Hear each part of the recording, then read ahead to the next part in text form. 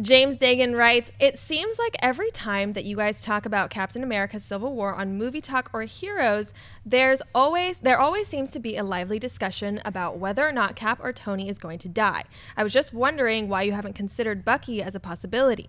I figured that Bucky is a great choice because his death could be the defining moment of the film that would end Cap and Tony's Civil War. No, I love the theory actually. I, I think I think there are two prime guys outside Tony's not to die and I don't think Captain America is to die at all. And I think the two prime candidates outside of that. By the way, we have no guarantees from anybody that any of them are going to die. But the two prime candidates, I do believe, are Bucky and I believe are Rhodey. Uh, War Machine. I think those are the two guys that have the possibility because both of them, for different reasons, one for Tony, one for Cap, would have dramatic emotional impact. Rhodey dying would crush Tony. Uh, Bucky dying would crush Cap. So I think there's a lot of possibilities there. Now, for some of you out there are going, but but but Sebastian Stan has a nine film deal. That doesn't matter.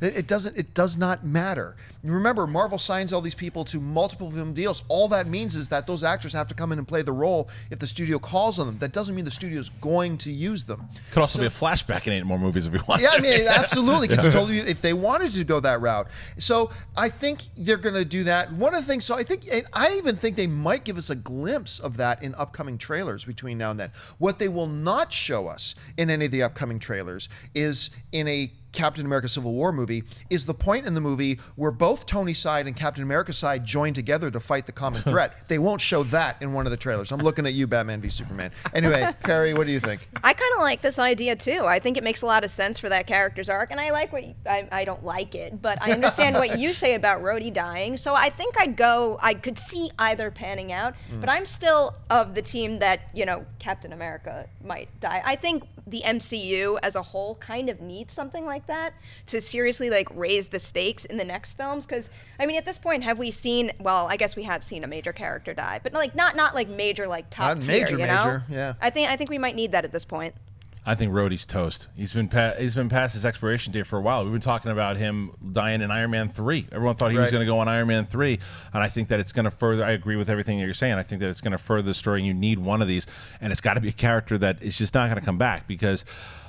Captain America is still a possibility. I don't think it's going to happen. It's a possibility. I don't think it'll be Winter Soldier because I do think they might take the angle if Cap does go that because Sebastian is, is, younger than Chris Evans, seems to be a guy that they could get to maybe run as cap, as, as, another cap down the line. Who knows? But I think if you're going to bet on a death, you get good Vegas odds with uh, with Rhodey. Yeah, I'm going to do this like fantasy football and who your first round draft pick should be in this really creepy death pool that we've just created. I'm going to say that Don Cheadle is Rhodey's definitely your first yeah. round pick. Bucky, I don't think Bucky's going to die. It wouldn't it it wouldn't crush the audience. I don't think so. It's a smart bet to say he probably might expire because it's not going to like like nobody's going to see this movie and say, "Oh, they killed Bucky." Well, I'm not seeing Infinity War now, but some people might be really turned off if you killed Iron Man or Captain America. So I don't think that's happening. I don't know how many major characters you're going to lose, but friends of those major characters, Don Cheadle, we're looking at you. I think he's gone. Hey guys, if you like this clip, click here to watch the entire episode.